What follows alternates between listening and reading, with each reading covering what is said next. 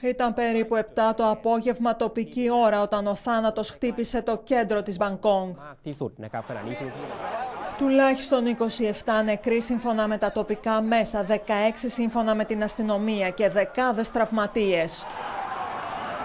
Η βόμβα που είχε τοποθετηθεί σε μοτοσικλέτα έξω από τον Ινδουιστικό βωμό Εραβάν δεν χτύπησε μόνο την καρδιά της πρωτεύουσας της Ταϊλάνδης. Χτύπησε την τουριστική βιομηχανία που αιματοδοτεί την οικονομία της χώρας.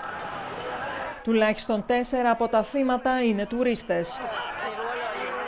Ο βωμός Εραβάν αποτελεί δημοφιλές αξιοθέατο κυρίως για τους Κινέζους και περιστοιχίζεται από πολυτελή ξενοδοχεία, εμπορικά κέντρα και γραφεία. Η αστυνομία έχει αποκλείσει την περιοχή και έχει στήσει μπλόκα σε άλλα σημεία της πόλης. Εκατοντάδες τουρίστες έχουν ζητήσει να φύγουν από την Ταϊλάνδη.